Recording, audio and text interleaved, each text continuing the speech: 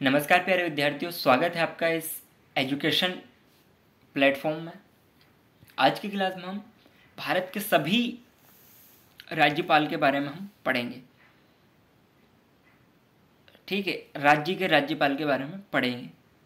MP के sorry Bharat के नहीं, मध्य प्रदेश के पूरे राज्यपाल के बारे में, कि अभी तक कितने थे, पहले कौन थे और कैसे कैसे वहाँ से क्वेश्चन डिज़ाइन हो सकते हैं, वो मैं आपको सब कुछ इस क्लास में कवरअप कराऊँगा।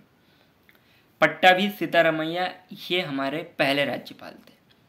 तो पहले राज्यपाल हो गए पट्टाभी सीतारमैया। इनसे एक पॉइंट क्या हुआ है कि ये एमपी के फ़र्स्ट राज्यपाल थे फ़र्स्ट राज्यपाल, ठीक है? सेकेंड हरि हरि विनायक पाटकर, जिसको हम पास्टकर भी बोलते हैं, ये हमारे दूसरे थे।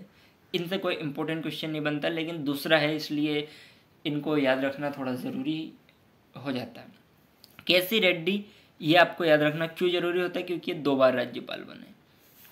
तीन हमने अभी तक देखे पट्टाभी सीतारामैया, हरिविनायक पास्टकर और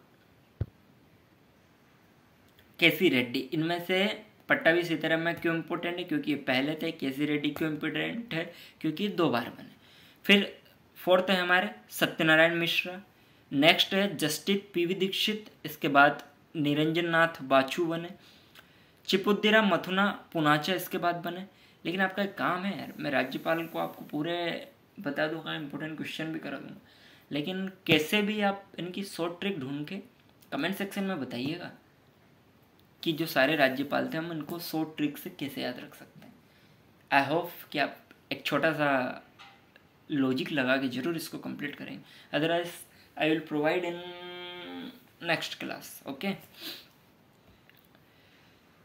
फिर है भगवत दयाल शर्मा। ये क्यों इंपॉर्टेंट बन जाते? क्योंकि ये तीन बार बने। ये किससे भी इंपॉर्टेंट बन जाते? कैसे रेड्डी से, ठीक है?